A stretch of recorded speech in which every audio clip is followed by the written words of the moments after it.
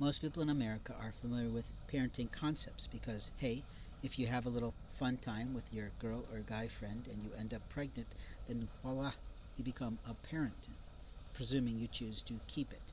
The reality is that in America we have this concept of right to life, and right to life involves a heck of a lot more than the decision of whether or not to terminate the theatrical life.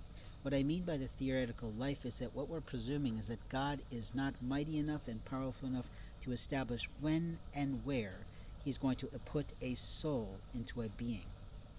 We can presume, if we have the scientific data, that the baby starts with a soul, but I don't think that's the case of the embryo.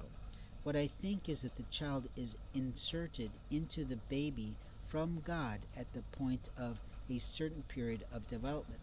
I also think that God has come about to do this because of the fact that prenatal care can be challenging.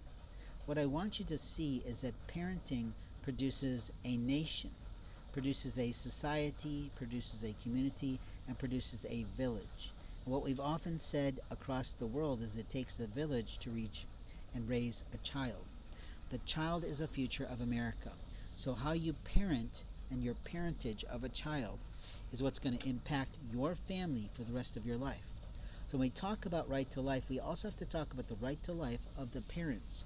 Is the father mature enough to give up his life in any way to care for that child appropriately in age appropriate ages and stages of that child's development? Is the mother mature enough to get off her ass and go to a library or a half price bookstore or a full on bookstore and buy a book on parenting? If she's not, then she should not have a child. There are young people that are misspending all the time. They are too young to recognize the difference between saving and spending. Now, many of them know how to shop frugally because of their life experiences, but some kids don't realize that your child doesn't need everything at every moment of time, especially in the early stages of a child's development.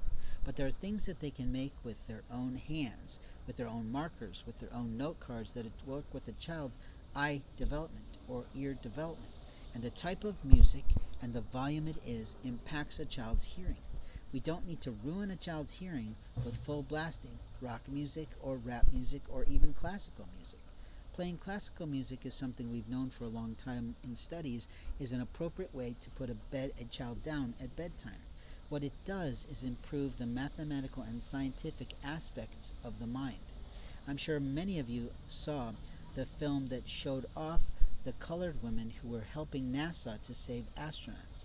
I cannot remember the number crunching film, but it was impressive to me because I cannot do that.